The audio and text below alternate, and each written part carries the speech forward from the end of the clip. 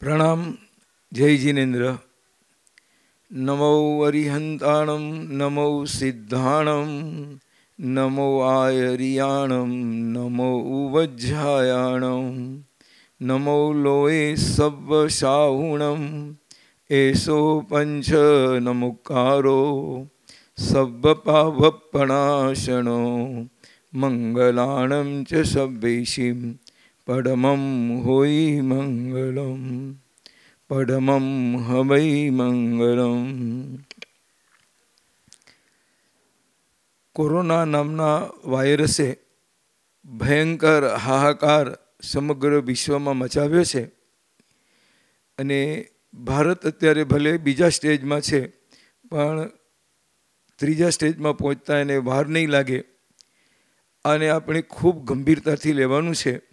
માનનીય વડાપ્રધાન શ્રી નરેન્દ્રભાઈ મોદીએ પણ પોતાના પ્રવચનની અંદર આની ગંભીરતા સમજાવી આપણને અને એના માટેના ઉપાયો માટે પણ એમણે જે અપીલ કરી, આપણે બધા જ જૈન ધર્મની અંદર પૂર્વના કાળના ઇતિહાસ તપાસીએ, તો આવા મહામારીના અનેક વખત પ્રસંગો થયા છે મરકી આદિના ઉપદ્રવો થયા છે ધરતીકંપો સુનામી આદિ ઉપદ્રવ થયા છે, ત્યારે આપણા વડીલોએ મંત્રાધિરાજ નવકાર મહામંત્રનું સ્મરણ લીધેલું અને આપણા પૂર્વાચાર્યો રચિત જે નવસ્મરણ આદિ સ્તોત્રો છે, એના જાપ દ્વારા પણ શાંતિની અનુભૂતિ કરેલી.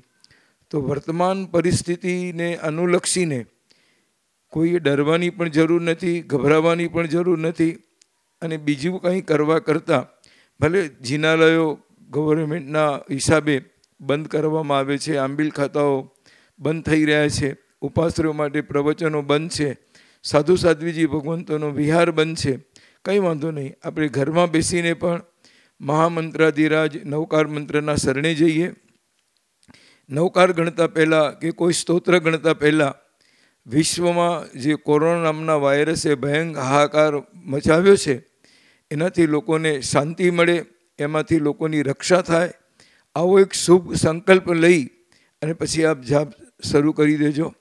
તપાગચ્છના આચાર્ય ભગવાન ગચ્છાધિપતિ પરમ પૂજ્ય શ્રી રાજેન્દ્ર સુરીશ્વરજી મહારાજ સાહેબે પણ એક નવકાર અને એક વસગરમ એ પ્રમાણે સાત વખત મંત્રનો જાપ કરવા માટેનો આદેશ આપ્યો છે.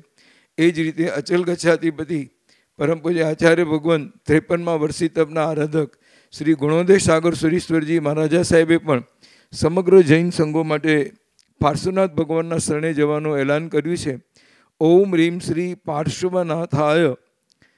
મહામારી ભયમ નિવારે મમ રક્ષામ કુરુ કુરુ સ્વાહા. એ જાતનો જાપ સત્યાવીસ વાર કરવા માટે કહ્યો છે. તો કોઈક આચાર્ય ભગવંતે લઘુ શાંતિના બાર વખત જાપ કરી અને અભિષેક મૂળ નાયક ઉપર કરી અને એ નમન છાંટવા માટેનું પણ કર્યું છે.